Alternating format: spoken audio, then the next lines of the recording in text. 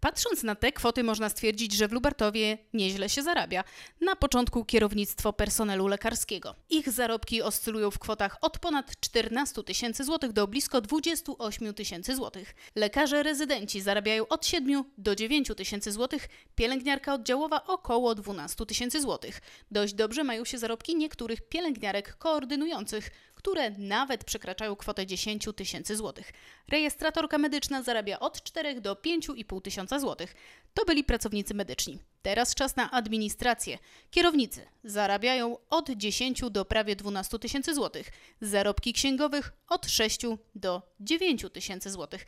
Listę zwieńczają stanowiska 16 starszych inspektorów, a ich zarobki to od 5 do blisko 8 tysięcy złotych. Dokument, który przedstawia zarobki w Lubartowskim Szpitalu, został udostępniony na prośbę Jarosława Budki, radnego powiatowego.